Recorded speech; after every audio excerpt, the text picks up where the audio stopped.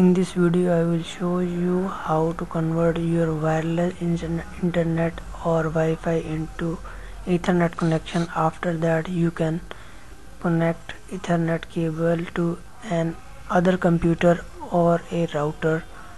Follow me. Just it is a very simple steps. Let's follow me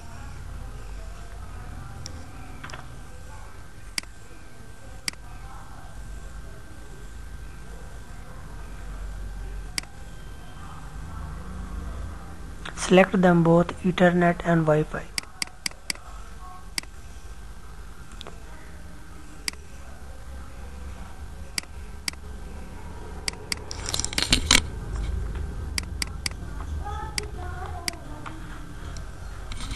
Right click on them and connection bridge.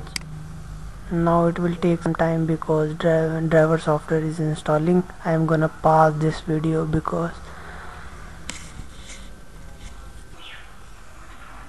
okay here you can see I am getting an error message from Windows and as unexpected error occur while configuration the uh, network bridge okay you can solve this. It is very easy process. Don't worry about this. Click on ok and go to Wi-Fi network adapter properties. And you have to uh, click this option Microsoft Network Adapter Multiplexor Protocol. Click on it and click OK and click yes. And same on the Ethernet process same process on Ethernet.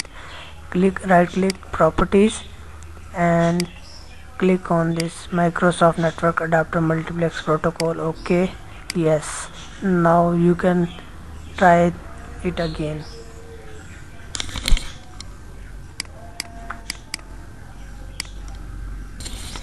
wait for it.